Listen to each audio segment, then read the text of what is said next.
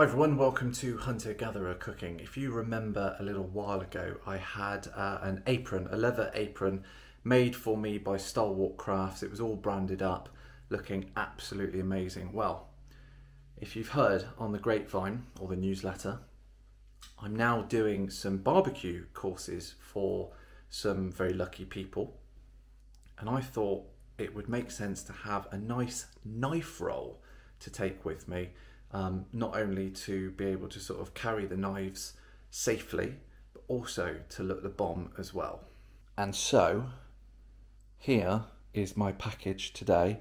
I've undone the sellotape, but I've not had a little look in. Okay, take two. Here we go.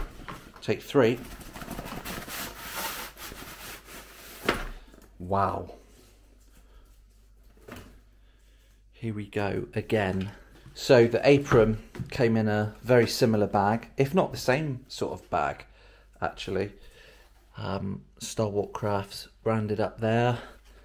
Let's have a little look. Oh wow. That is absolutely amazing. And it's all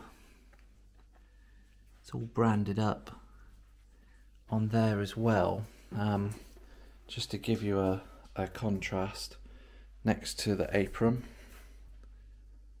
Oh god, I'm loving this. Obviously this strap just wraps round. And then, bum bum bum. That's cool.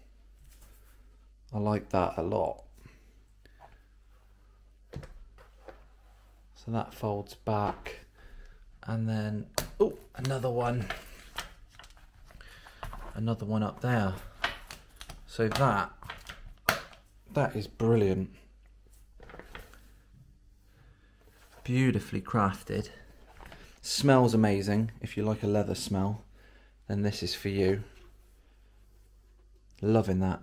Absolutely loving that.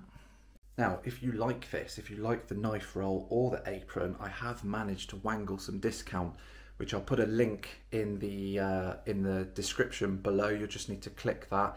That'll take you through to my other discounts on the website um, for Meaters and rubs and things like that. Check those all out, and um, you can take advantage of that too. Thank you very much for watching. I'm going to fill this with knives now, and um, I'll be able to start to use this. Well, actually, from tomorrow. Thanks very much for watching.